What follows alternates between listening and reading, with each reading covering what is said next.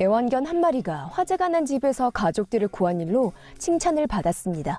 CBS 뉴스는 지난 6월 3일 일요일 8개월짜리 핏불이 아파트 바깥에 있다 집에 불이 붙은 사실을 깨달았다고 합니다. 사샤라는 이름의 이 핏불은 주인의 아파트 바깥에 있다 아파트의 절반에 불이 붙었다는 사실을 알게 되었습니다. 그래서 사샤는 발바닥으로 문을 두드리기 시작했고 주인인 차이 찬다 씨가 나오자 아파트 안으로 쌩 달려 들어갔습니다. 차이 찬다 씨는 사샤가 곧장 집 안으로 달려 들어가 침실로 들어갔다고 전했습니다. 세크라멘토 비는 차이 찬다 씨가 사샤가 단지 이상하게 행동한다고만 생각했다고 보도했습니다. 이후 그녀가 뒤로 돌아봤다 건물 절반에 불이 붙은 것을 보고 바깥으로 급히 나왔습니다.